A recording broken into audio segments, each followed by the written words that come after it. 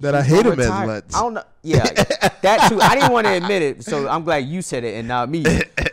I didn't want to admit that part, but the the part about retiring it's like, yo, he's a maniac. He's like Kobe Bryant. You know what I'm saying? Like.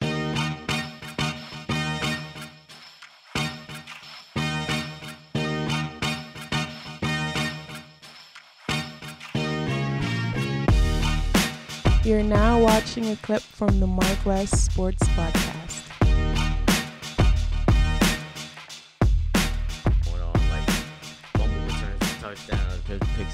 It was just it was Imagine crazy game. game just like that. Hopefully, we get a Super Bowl like that because last year was kind of boring. I didn't even remember it. You know, I, I I literally didn't remember the team that Tom Brady beat. You know, I was like, who did they even play? Yeah, it was KC, but I don't remember the Super Bowl. I don't remember what happened. What was the drama? You know, I actually remember the drama shit. with Kansas City, San Francisco because San Francisco was up, and Patrick Mahomes led them back to win. I remember that one, which was the year before, but I had no idea what what went on. So so we got the Rams and KC. You want to pick now or we wait? I mean, yeah, we might as well wait because we got two weeks. Yeah, we will, we'll wait because we picking won't know the game. outcome of this well. week. But yeah, I mean, regardless of the fact, I think is is out with the old and in with the new. I mean, there's rumblings that Tom Brady's probably going to retire. You know, you got Ben Roethlisberger. I don't think he's gonna retire. To be honest, He- If he do, if he don't, I don't want to see him because more. I seen the documentary. I watched the shit. Cause like I said, my my lady is from Boston, and she was like, "Oh, I want to watch it." And I was like, "Oh, yeah, this is probably a way to bond." Let's you know, it's actually a football documentary. You want to watch alright, it? well, why not? it's like You know what I mean? You're like, why not? What? Okay, whatever. you know what I'm saying? So I watched it, and I was just like, all right, you know, like this dude, he's on some like really some natural type vibe right now, like what we be on And you with the eating and like the, the, the, you know, hating that and you. I'm just like, damn, okay, gone. I don't think That I hate him as much. I don't know. Yeah, that too. I didn't want to admit it, so I'm glad you said it and not me. I didn't want to admit that part, but the the part about retiring it's like, yo, he's a maniac. He's like Kobe Bryant. You know what I'm saying? Like I was listening to an interview with with um that uh, uh reporter had with with Tom, with uh Kobe Bryant. And I was just like, yo, dude is a maniac because he was saying like, yeah, I wake up at like 5 a.m., you know, every day, you know, and then the show is in the morning. And he was like, yeah, the show is like at eight. Like, what have you done since five? And he was like, oh, you know, just, you know, been working out. I already did, got a little, you know, weight workout in, you know, mm-hmm. I jogged around a little bit, you know. And I was like, spent some time with the kids. And I was like, I was like, damn, you did all of, all of that before eight o'clock. I was like, damn, like this dude is like a maniac. Some of these really successful people in sports, like in, in anything, pretty much, it's like they're maniacs of what they do. And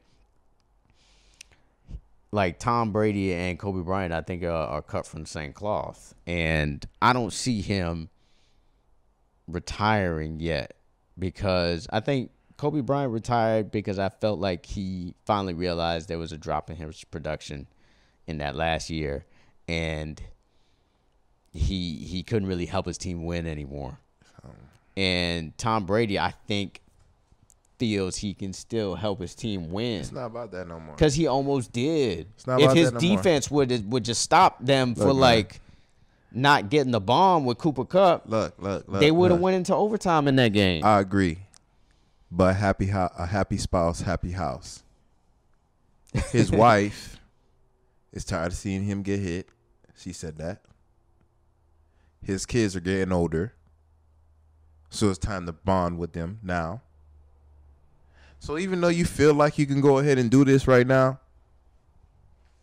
me as your wife, the mother of your children that's older now, that understands. It's time to bond with their ass before they get the hell up out this crib.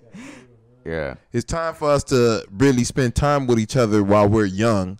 Still, you're old, but you're young. You're old if you're talking about sports. You're young still because she's a supermodel. She's not a supermodel no more because she's not 20. You're not Tom Brady, G golly whiz of the early 2000s. and your kids are older. It is time to spend time with them. And it's time to move on and go on to your next side of your legacy before it's too late.